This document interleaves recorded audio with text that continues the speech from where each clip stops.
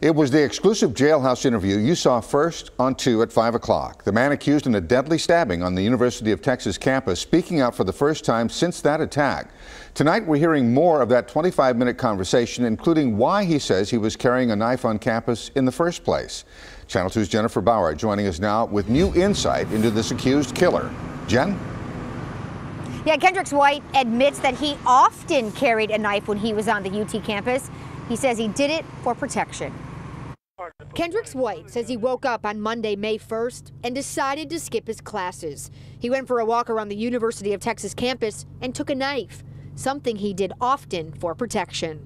I know a lot of my friends carry guns and then open carry on campus. I was just feeling like I should be a little bit more protected. Police say White stabbed four people that day. Harrison Brown died from his injuries, and three other students were hurt, including Stuart Bayless from Katy. I feel completely awestruck that they told me that, that I'm being charged with murder, one person died, and I said, oh my goodness, I didn't think that something that was going on in my mind could actually go to a position where someone would lose their life.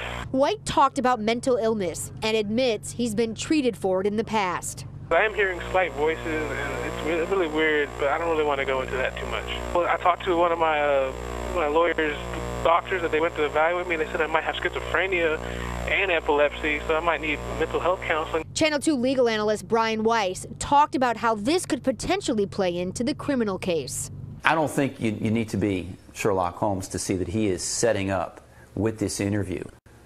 Defense is based upon mental disease, mental defect, diminished capacity. White says even though he has no memory of the events that day, he's still sorry and is ready to face the consequences.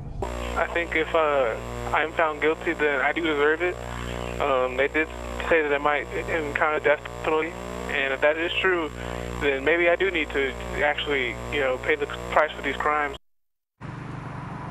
And White tells us he has had three visitors since his arrest, his parents and his lawyer. We're live tonight. I'm Jennifer Bauer, KPRC, Channel 2 News. Thank you, Jennifer. You can watch the entire jailhouse interview, should you like to do that, on our website, click2houston.com. Just look for the story on the homepage.